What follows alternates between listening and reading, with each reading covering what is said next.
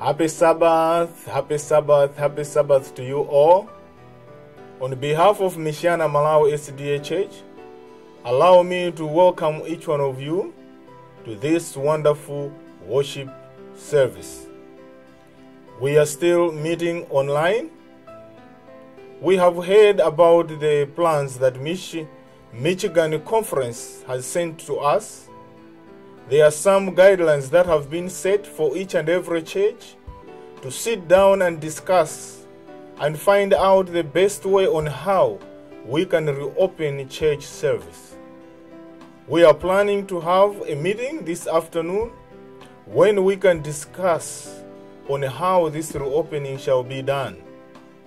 Brothers and sisters, let us know that the pandemic is still on. So we are taking everything seriously. Once we have discussed, you will be consulted and a decision will be made. So for now, let us continue to enjoy and utilize this opportunity that God has given us that each and every Sabbath we can still have an online worship service.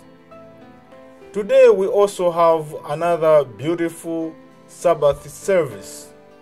But before we transition into that, listen to this announcement.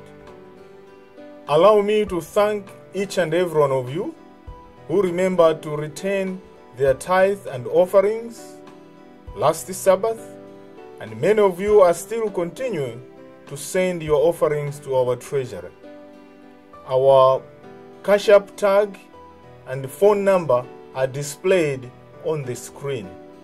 Let us continue to be faithful by remitting our tithe and offerings through the treasury. Once they receive your tithe and offerings, they will acknowledge receipt. May God bless you for continuing to be faithful. Today we are privileged to have a beautiful sermon. Our preacher today is none other than Kondwani Nyirenda. Kondwani Nyirenda is a shepherdess. When we say a shepherdess, it means she is a pastor's wife.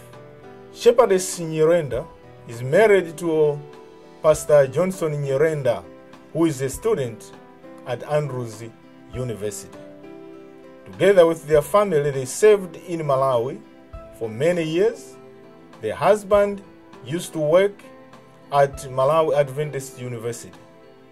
Miss Kondwani Nyirenda, she used to be a nurse, but she went to Malawi Adventist University where she did her degree in accounting. When she came to America, she continued to study. She now holds a master's degree in business administration.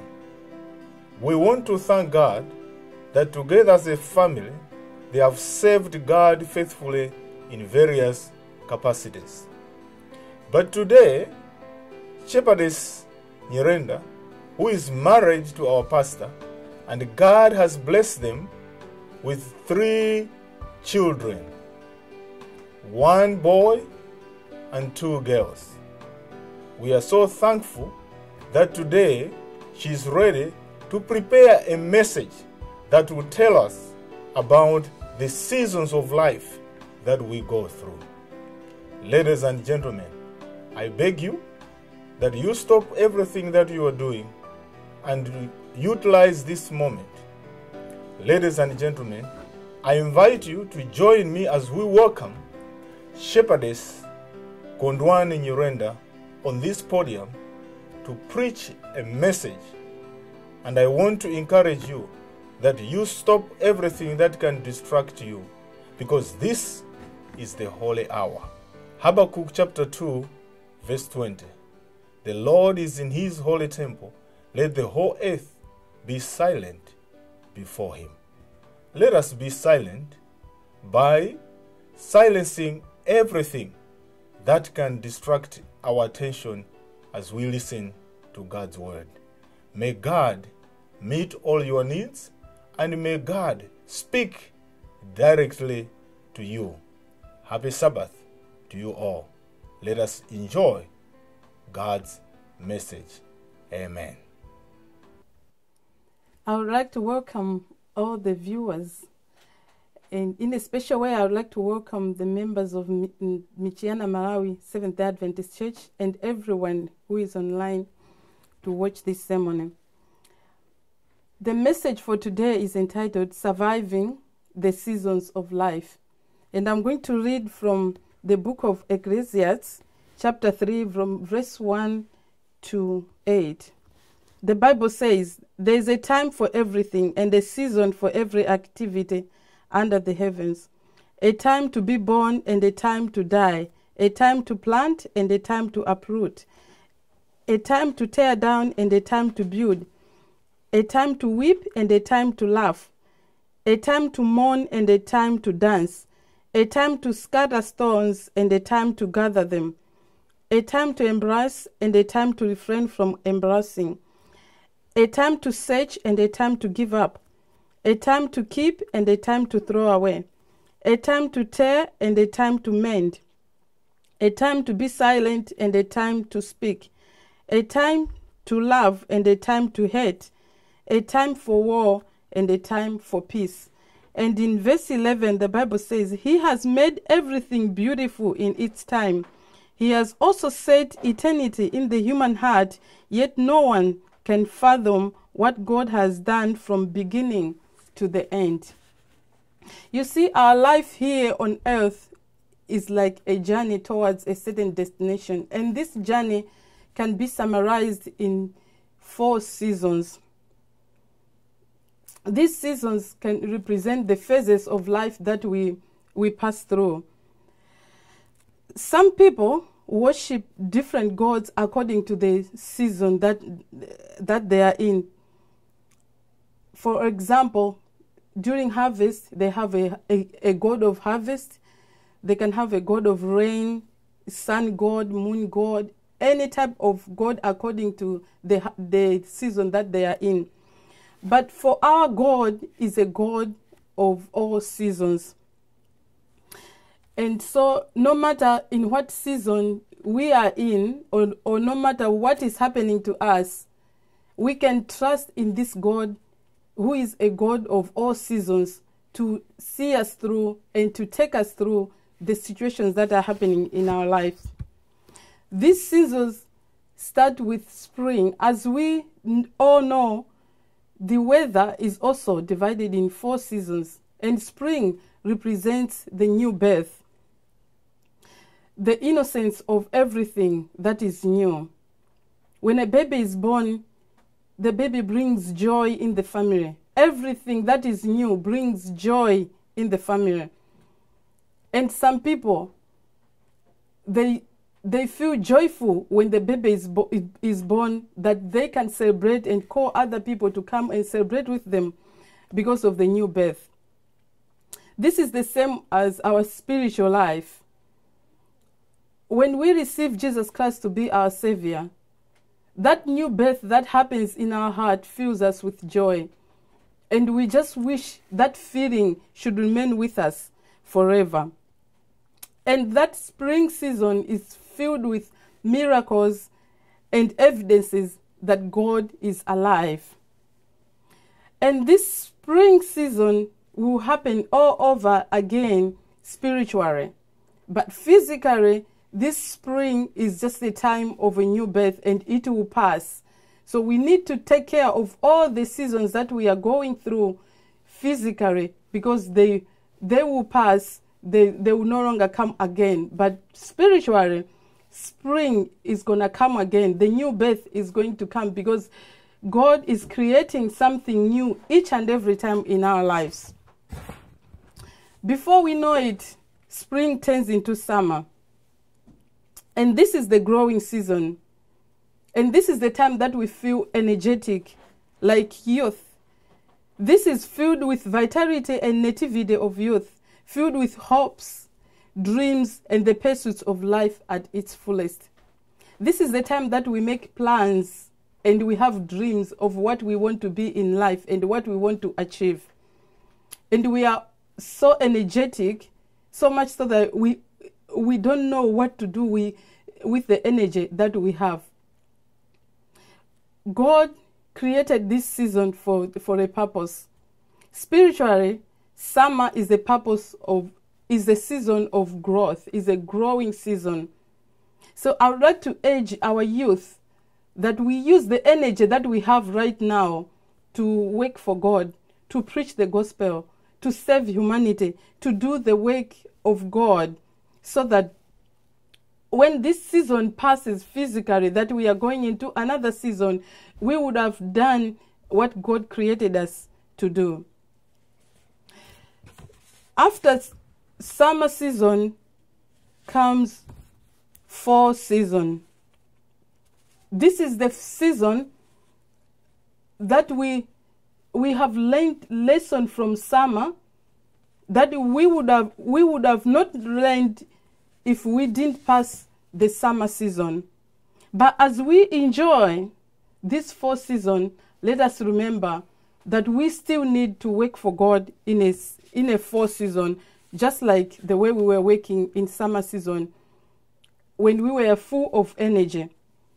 This time, we also seem to have a lot of knowledge on how to approach challenges more realistically because we would have experienced so many things in summer since we were going to investigate some stuff. We were looking for knowledge. We were experiencing life. Now we would have gained knowledge to face problems, to challenge them realistically. This is the time that we can go hand in hand with those people who are in their summer lives. We need to work together. We need to grow together. We need to challenge the devil together before winter comes when we can say that our life is nothing on earth and we can't do anything else. And we need to work in this season of life, in four season, we need to work with all our heart because soon we won't be able to work for God when our energy is gone. We need to know that every act and every word is a seed that will bear fruit in the people who are hearing us. And every deed of thoughtful kindness and obedience and self denial will produce itself in others. This means that everything that we do and everything that we say is going to produce an effect into other people's lives. That is why when when we are in our summer season and when we are in fall season where we are we are we are actively work for God, we need to be careful of our words and of our deeds. And so, dear friends, we need to remember that what we sow, we will also reap. So now is the sowing time. The summer season and the fall season, we need to sow the kind deeds and the kind words and helping the humanity to relieve suffering. Otherwise, anything that that we are going to sow in summer and fall, we are going to reap in winter. This fall is also like a season of pruning, the pruning season where God is giving us trials and temptation, is allowing temptations to come to our lives to test our faith. It's, it is not the time to give up. This is the time to press on, to live for God.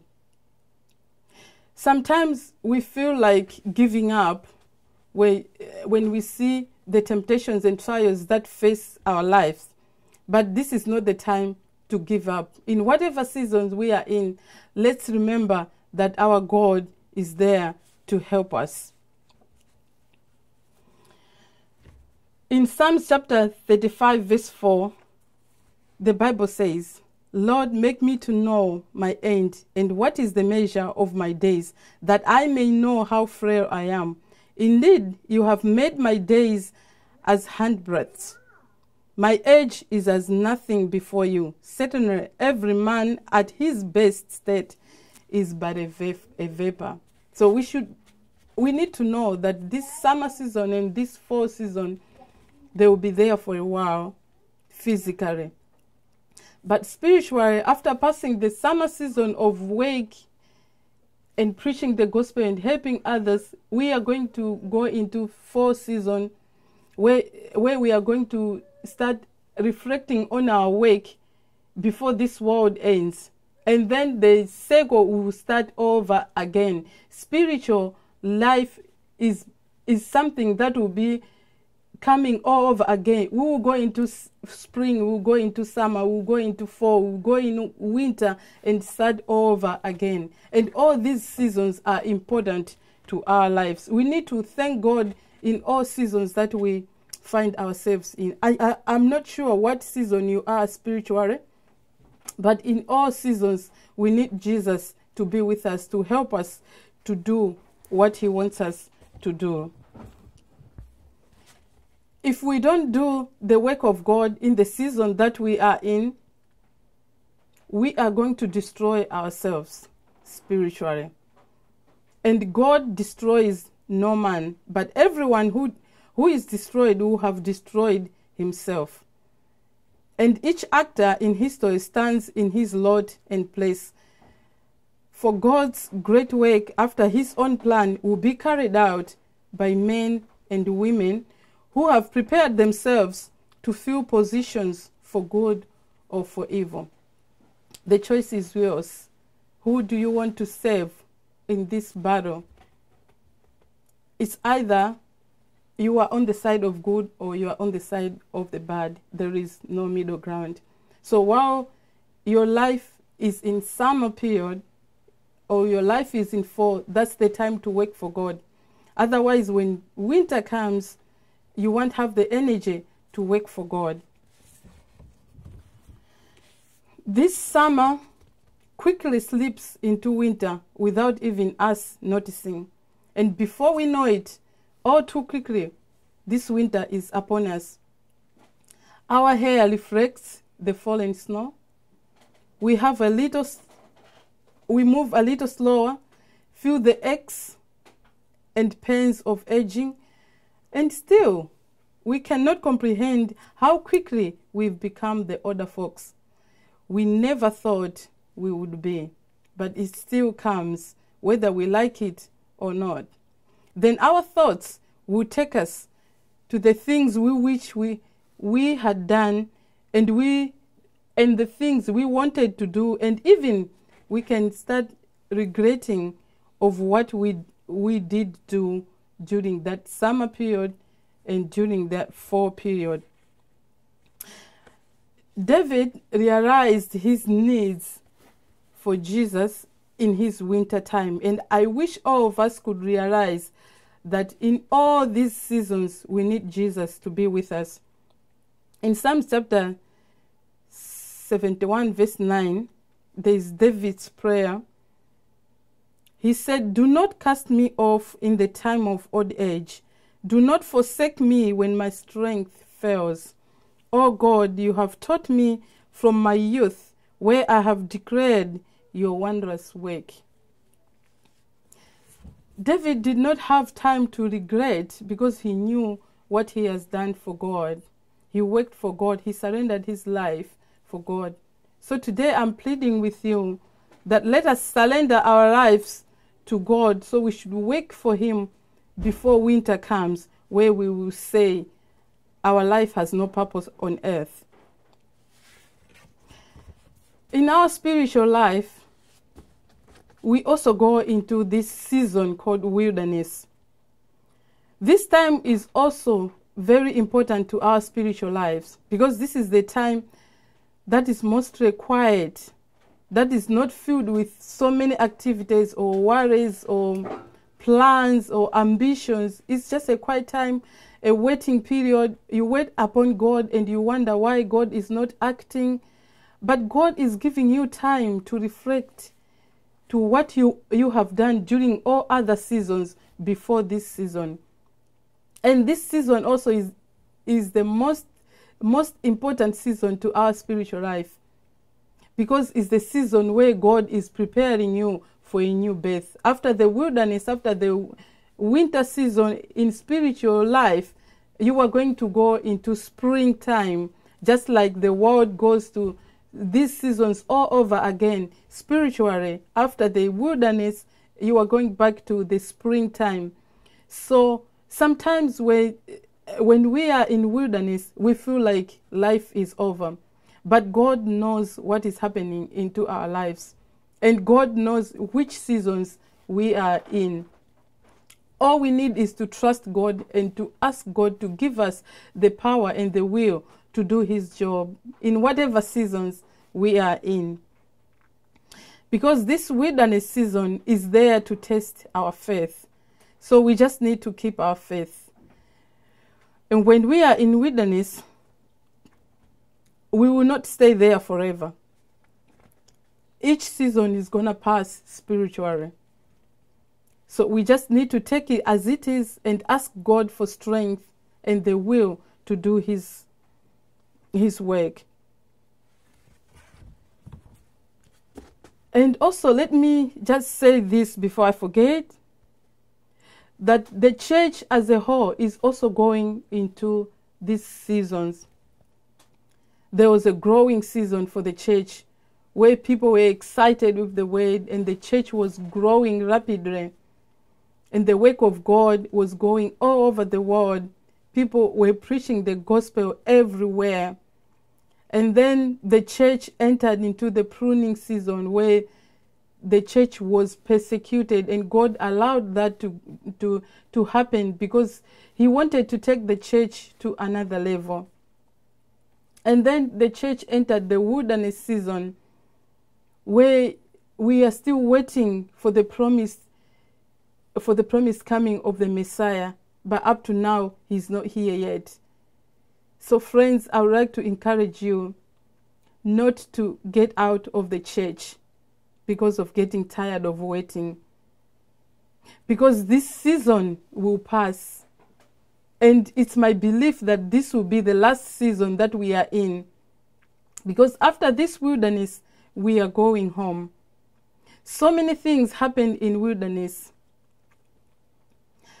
But the, the Lord is preparing us for the harvest because after the wilderness, we are, we are going to harvest whatever we have done on this earth. We need to hold on to Jesus in this wilderness season because it will not take long when Jesus is coming to this earth. So, this is my question today. Are you willing to trust in the Lord in all the seasons of your life? Can you trust that He is able to see you through this life and take you to be with Him when the life ends? My hope and prayer is that we put all our trust in Him, leave everything in the hands of the Lord.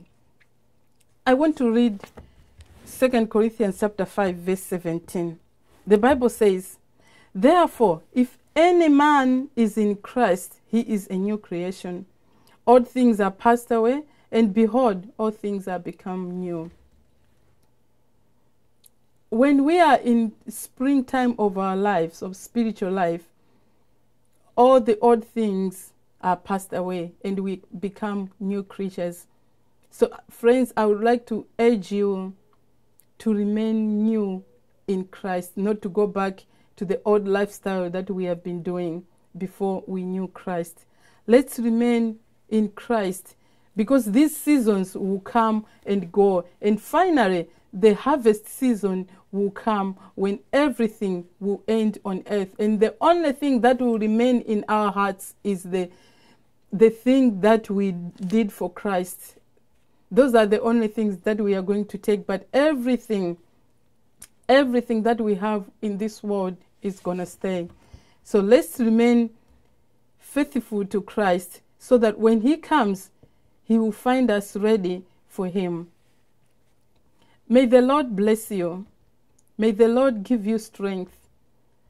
May the Lord see you through all the seasons of life that you are going through. And may you make the final decision of your life that you are going to trust the Lord in whatever season of life you found yourself in. Let us pray. Our dear Heavenly Father, we want to thank you for your word of life. We want, we want to thank you for you promised us that you will never leave us alone, no matter what is happening to our lives. Father, I want to pray that you give us faith and courage to stand still and see your salvation and wait on you. Father, we want to pray that you provide our needs and help us to go through trials and temptation with power and energy in your name. In Jesus' name I pray. Amen.